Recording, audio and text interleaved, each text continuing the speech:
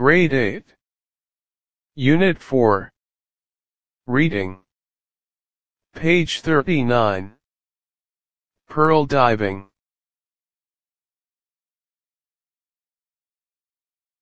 One, before the discovery of oil in Kuwait, pearl diving was the main source of income for many Kuwaiti people.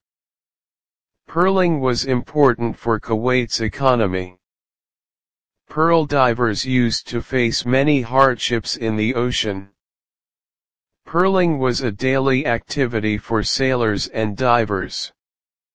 They often worked for 12 or 16 hours a day. 2. Pearl diving was not only an industry, but a social system that held communities together.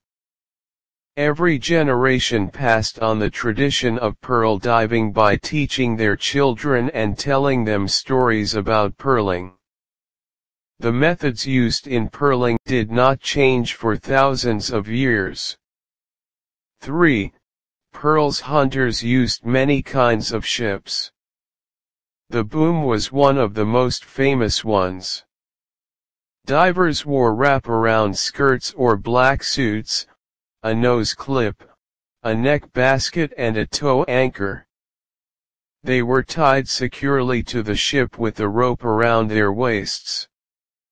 They held the rope throughout the dive. When a diver was ready, he tugged on the rope and was pulled up to the surface. 4. The tradition of pearl diving died during the 1930s because of the introduction of cultured pearls which were cheaply farmed in Japan, but pearl diving is still an important part of the Kuwaiti heritage. Nowadays festivals are held and sea trips are organized to keep this tradition alive. These trips are supported by His Highness the Emir of Kuwait.